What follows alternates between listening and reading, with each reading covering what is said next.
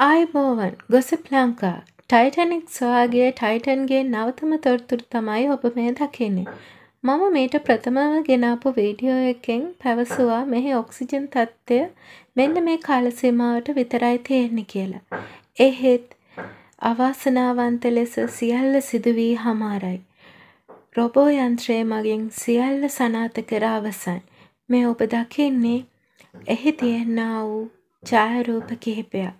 සම්මැරීනය පුපුරා ගොස් සියල්ල විසඳී හමාරයි. ඉතිං අපි අපගේ ආගමේ හැටියට මොවුන් හට උතුම් වූ නිර්වාණ සුවය ප්‍රාර්ථනා කරමු. මේ ඉතාමත් අවදානම් ගමනක්.